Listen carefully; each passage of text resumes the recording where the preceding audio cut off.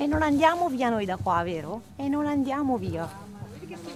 Si sono presentati alla tenuta di Matteo Penello questo pomeriggio alcuni esponenti di 100% animalisti qui per mostrare la propria solidarietà convinti di vincere la battaglia.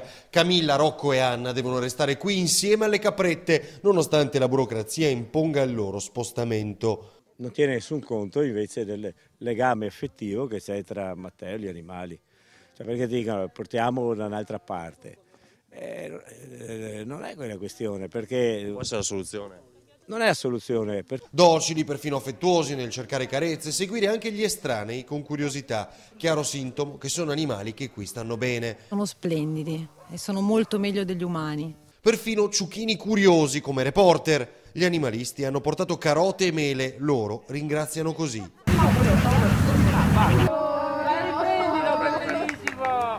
Via anche l'ombreggiante che ostruiva la visuale ai bimbi della strada. Deluso, Matteo, dalla risposta del sindaco. Io prima cosa non ho mai macellato animali, li ho venduti, li ho regalati, però non ho mai macellato animali. Gli asinelli danno fastidio perché... Eh, danno fastidio?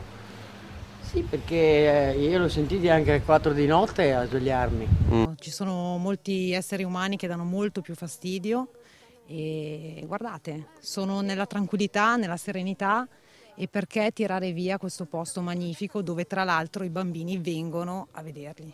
Io non voglio nascondere niente a nessuno, voglio far vedere che questi animali stanno bene